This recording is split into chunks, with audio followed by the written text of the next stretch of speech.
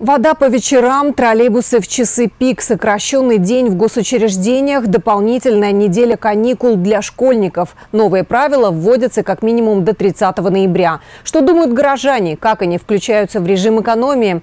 Наш опрос на улицах города. Как относитесь к тому, что из-за чрезвычайной экономической ситуации продлили каникулы? С одной стороны, весело то, что каникулы будут идти дольше, а так не особо то, что вот так в стране все происходит. Ну а почувствовали, что вот э, проблемы там с водой? Хорошо. троллей- Да. Почувствовали? Это да, и троллейбусы, и вода, да. А троллейбусы как? И Тяжело добираться? А, идут намного реже. Раньше они шли типа каждые 10 минут, сейчас уже реже намного. Но добраться-то все равно можно. Ну, добраться можно. На троллейбусах, пешком, без разницы. Батареи чуть похолодели, но в комнате, в принципе, нормально. Грустненько, но ничего, будем как-то переживать этот- эти моменты. Выдержим?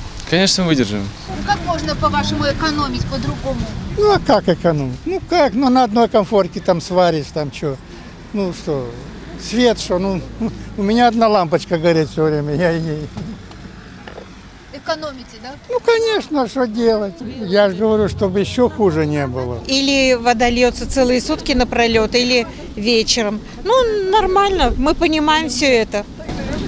А с троллейбусами что, тяжело добираться? Ну да, добираться, да. Ну и что? Ну это вынужденная мера.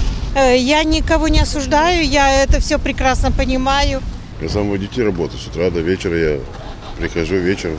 Вода есть. Вода есть. Тепло есть. Все хорошо.